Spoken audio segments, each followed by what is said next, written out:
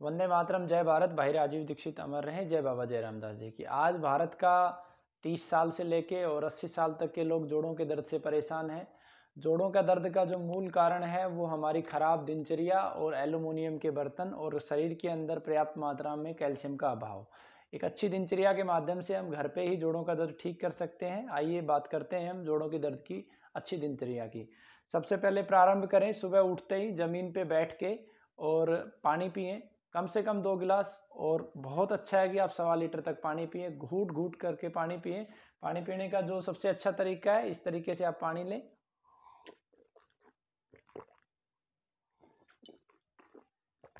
इस तरीके से घूट घूट करके ज़मीन पे बैठ के पानी पिए। पानी पीने के बाद आप दातुन करें, फ्रेश हो के आए। दातुन में नीम है, शीशम है, सहजन है, पीपल है और दंतमंजन आप कर सकते हैं। फ्रेश होने के बाद थोड़ा सा योग करें। सूर्य का प्रकाश लें, उसके बाद आप कुछ पत्तों का सेवन करें। पत्तों के सेवन में आप प्राथमिकता दें सहजन के पत्ते। सहजन के पत्ते कम से कम सौ पत्ते आप अवश्य खाएँ।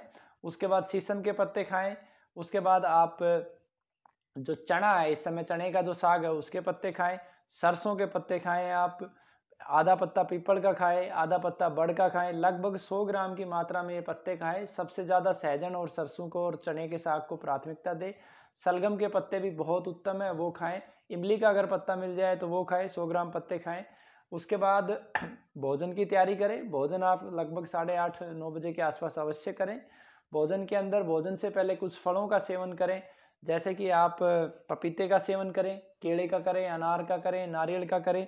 कीवी का करें और संतरा है, जामुन है, तमाम प्रकार के फल खाएँ। कम से कम 400 से 500 ग्राम फल आप अवश्य खाएँ। फल खाने के बाद आप भोजन के लिए जाएँ। फल के कुछ देर के बाद आप भोजन करें। भोजन के अंदर आप चपाती प्राथमिकता के साथ बाजरी, जो राजस्थान की आती है, देसी बाजरी, उसका प्रयोग करें। चने का प्रयोग ज़्यादा से ज़्यादा करें, जौ का प्रयोग करें, रागी का प्रयोग करें और इनकी रोटी बना के खाएँ और सब्ज़ी पकाएँ, हरी सब्ज़ियाँ ज़्यादा से ज़्यादा खाएँ। इसके अलावा आप, जो सब्ज़ी आप पकाएँ, वो मिट्टी के बर्तन में पकाएँ, क्योंकि मिट्टी के बर्तन में प्रचुर मात्रा में कैल्शियम होती है, जो आपके शरीर को आवश्यकता है। शुद्ध सरसों के तेल या देसी गौ माता के घी का प्रयोग करें सब्ज़ी के लिए। दालें जितने भी प्रयोग करें, छिलके वाली करें, भोजन करें। सुबह के समय ज़्यादा से ज़्यादा भोजन करें चबा चबा करें। भोजन से एक घंटा पहले पानी पिए, बीच में पानी ना पिए और भोजन करने के तुरंत डेढ़ घंटे बाद पानी पिए। तुरंत पानी ना पिए, डेढ़ घंटे का कम से कम गैप हो। इसके बाद आप दोपहर में भोजन करें तो दोपहर में फिर से आप पत्तों का सेवन करें, सहजन का पत्ता प्राथमिकता के साथ रखें, लगभग 50-60 ग्राम पत्ते अवश्य खाएँ, सहजन है, बथुआ है, पालक है, सरसों है, चने का है, और खीरा, ककड़ी, ये तमाम प्रकार की जो कच्ची सब्ज़ियाँ हैं, सलाद के रूप में लें और फिर से भोजन करें। भोजन में प्राथमिकता के साथ चने की रोटी है, जौ की रोटी है, रागी है, बाजरा ये प्राथमिकता के साथ लें। पुनः सब्ज़ी, छिलके वाली दालों का प्रयोग करें या हरी सब्ज़ी, मिट्टी की हांडी में प्रयोग करें। शाम का भोजन हल्का करें। शाम का भोजन सूर्य छिपने के एक घंटे पहले करें और एक घंटे पहले भोजन करें और इसके अंदर जो है आप दलिया प्रयोग कर सकते हैं, जौ का दलिया और दूध प्रयोग करें। शाम को सोने से पहले मिट्टी की हांडी में गर्म किया हुआ दूध अवश्य पिए, दो तीन गिलास दूध पिए और उसके अंदर संभव हो तो हल्दी का प्रयोग करें। तो ये बात थी दिनचर्या की। अब कुछ ऐसी वस्तुएँ हैं जिसे अपने जीवन से आपको हटाना है जिनका बिल्कुल सेवन नहीं करना है। चाय है कॉफ़ी है कोल्ड ड्रिंक्स है आ, मैदा के बने हुए उत्पाद है रिफाइंड ऑयल है जर्सी गाय का दूध है आयोडीन वाला नमक है और जितने भी फैशनेबल आइटम हैं लिपस्टिक है क्रीम्स हैं एलुमिनियम के बर्तनों का खाना है प्लास्टिक के बर्तनों का खाना है ये बिल्कुल आपको प्रयोग नहीं करना है। इनके जगह पे आप चीनी नहीं प्रयोग करनी, इनके स्थान पे आप इसके अल्टरनेटिव जो हैं, जैसे आप काढ़ा पी सकते हैं, दालचीनी का काढ़ा, अर्जुन का काढ़ा आप पी सकते हैं, पत्तों की चाय पी सकते हैं प्राथमिकता से, जैसे सहजन के 30-40 पत्ते लिए, थोड़ी दालचीनी उसके अंदर डाली, गुड़ डाला और उसकी चाय आप पी सकते हैं। अब सवाल है कि औषधि के रूप में आप क्या ले सकते हैं? औषधि के रूप में गुरुकुल से भी आपको औषधि मिलती है, उसी औषधि को आप घर पे भी तैयार कर सकते हैं।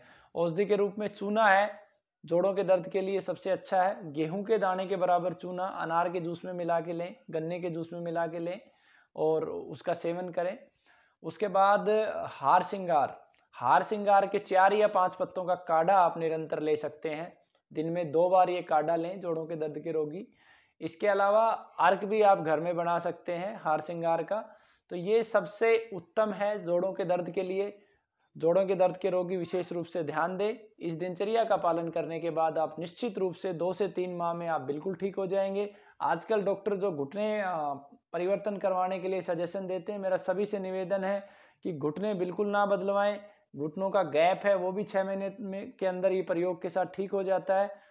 और इस दिनचर्या का पालन करते हुए निश्चित रूप से आप ठीक हो जाएगी। वंदे मातरम, जय भारत, अखंड भारत स्वाभिमान से जुड़िए और चिकित्सक की आप ट्रेनिंग लीजिए। किस प्रकार से? क्योंकि आज चारों तरफ़ पूरे देश में रोगी फैले हुए हैं।